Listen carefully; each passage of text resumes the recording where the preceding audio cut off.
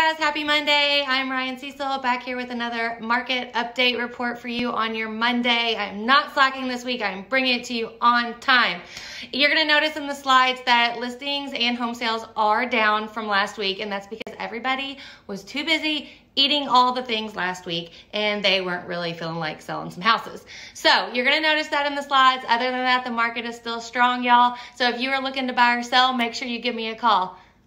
Look at my Christmas tree. Have a great week.